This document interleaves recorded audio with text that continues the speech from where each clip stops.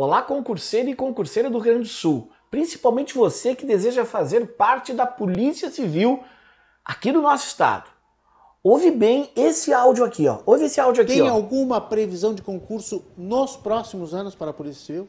Ah, eu gostaria muito. Espero que até o final do ano, né, a gente tenha aí algum edital, pelo menos, uh, de concurso para os próximos anos, tanto para delegado de polícia como para escrivão e inspetor.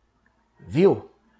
A delegada da Dinian Flor, chefe da, de, da, da Polícia Civil do Rio Grande do Sul, falou da previsão de um edital, de um novo edital para o concurso da Polícia Civil até o final de 2022. O que, que significa? Esse concurso vai sair no ano que vem.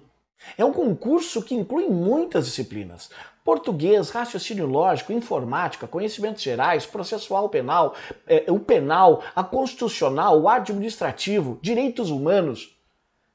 São muitas disciplinas para tu aprenderes em 45 dias ou 60 dias. Esse é o concurso para que tu te prepares durante um ano. Por isso estamos oferecendo uma turma especial, com início no dia 13 de abril. Olha só, uma turma especial com preparação de um ano para o futuro concurso da Polícia Civil.